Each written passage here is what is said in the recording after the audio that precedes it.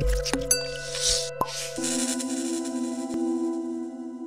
ਬੇਪਰਵਾਹ ਸ਼ਾਹ ਮਸਤਾਨਾ ਜੀ ਮਹਾਰਾਜ ਜੀ ਦੇ ਪਵਿੱਤਰ ਜਨਮ ਮਹੀਨੇ ਦੀ ਖੁਸ਼ੀ ਵਿੱਚ ਬਲਾਕ ਕੋਟ ਭਾਈ ਦੀ ਨਾਮ ਚਰਚਾ ਦੇ ਨਾਮ ਚਰਚਾ ਘਰ ਮਧੀਰ ਵਿਖੇ ਬੜੀ ਧੂਮਧਾਮ ਨਾਲ ਮਨਾਈ ਗਈ, ਜਿਸ ਵਿੱਚ ਸਾਰੇ ਬਲਾਕ ਦੀ ਸਾਧ ਸੰਗਤ ਨੇ ਭਾਰੀ ਗਿਣਤੀ ਵਿੱਚ ਸ਼ਿਰਕਤ ਕੀਤੀ। ਨਾਮ ਚਰਚਾ ਦੌਰਾਨ ਤਿੰਨ ਲੋੜਵੰਦ ਪਰਿਵਾਰਾਂ ਨੂੰ ਪਿੰਡ ਸਮਾਗ ਦੀ ਸਾਧ ਸੰਗਤ ਵੱਲੋਂ ਮਹੀਨੇ ਦਾ ਰਾਸ਼ਨ ਦਿੱਤਾ ਗਿਆ। ਕਵਿਰਾਜ ਵੀਰਾਂ ਨੇ ਪਵਿੱਤਰ ਗ੍ਰੰਥਾਂ ਵਿੱਚੋਂ ਸ਼ਬਦ ਗਾਏ ਅਤੇ ਵਿਆਖਿਆ ਕੀਤੀ। ਇਹ ਨਾਮ ਚਰਚਾ ਸਾਧ ਸੰਗਤ ਪਿੰਡ ਸਮਾਗ ਵੱਲੋਂ ਕਰਵਾਈ ਗਈ। ਇਸ ਮੌਕੇ 45 ਮੈਂਬਰ ਪੰਜਾਬ ਹਰਚਰਨ ਸਿੰਘ ਇਨਸਾ ਗੁਰਦਾਸ ਸਿੰਘ ਇਨਸਾ ਬਲਾਕ ਦੇ ਭੰਗੀਦਾਸ ਜਗਰੂਪ ਸਿੰਘ ਇਨਸਾ 25 ਮੈਂਬਰ ਸੁਖਜਿੰਦਰ ਸਿੰਘ ਇਨਸਾ 15 ਮੈਂਬਰ ਪਿੰਦਰ ਸਿੰਘ ਇਨਸਾ ਬਲਵਿੰਦਰ ਸਿੰਘ ਇਨਸਾ ਜਗਰੂਪ ਇਨਸਾ ਮੋਹਨ ਸਿੰਘ ਇਨਸਾ ਕੇਵਲ ਸਿੰਘ ਇਨਸਾ ਸੁਨੀਲ ਕੁਮਾਰ ਇਨਸਾ ਬਲਵੰਤ ਸਿੰਘ ਇਨਸਾ ਤੋਂ ਇਲਾਵਾ ਬਲਾਕ ਦੀਆਂ ਸੁਜਾਨ ਪੈਣਾ ਤੇ ਸਾਧ ਸੰਗਤ ਹਾਜ਼ਰ ਸੀ। ਅੱਜ ਦੀ ਜੋ ਨਾਮਦਰਜਾ ਰੱਖੀ ਗਈ ਬਲਾਕ ਕੋਟ ਭਾਈ ਦੇ ਵੱਲੋਂ,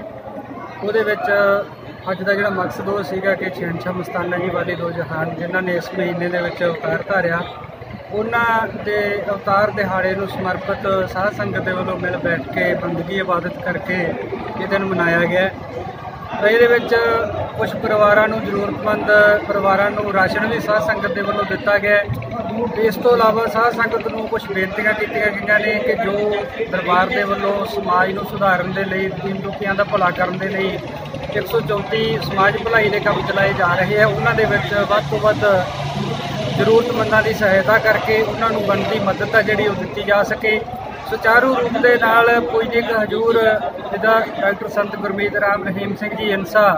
ਦੀਆਂ ਪਾਕ ਪਵਿੱਤਰ ਸਿੱਖਿਆਵਾਂ ਨੂੰ ਘਰ ਘਰ ਤੱਕ ਲੈ ਕੇ ਜਾਣ ਦੇ ਲਈ ਸਾਧ ਸੰਗਤ ਨੂੰ ਪ੍ਰੇਰਿਤ ਕੀਤਾ ਇੱਕ ਤਰ੍ਹਾਂ ਨਾਲ ਸਾਧ ਸੰਗਤ ਦਾ ਆਹਵਾਨ ਕੀਤਾ ਕਿ ਆਪਾਂ ਸਮਾਜ ਨੂੰ ਸੁਧਾਰਨ ਦੇ ਲਈ, ਸਮਾਜ ਨੂੰ ਬਦਲਣ ਦੇ ਲਈ ਆਪਣਾ ਬਣਦਾ ਯੋਗਦਾਨ ਹੈ ਜਿਹੜਾ, ਉਹ ਸਾਰੀ ਸਾਧ ਸੰਗਤ ਮਿਲ ਕੇ ਪਾ ਸਕੀਏ। ਇਹ ਸਾਧ ਸੰਗਤ ਨੂੰ ਬੇਨਤੀ ਕੀਤੀ ਹੈ।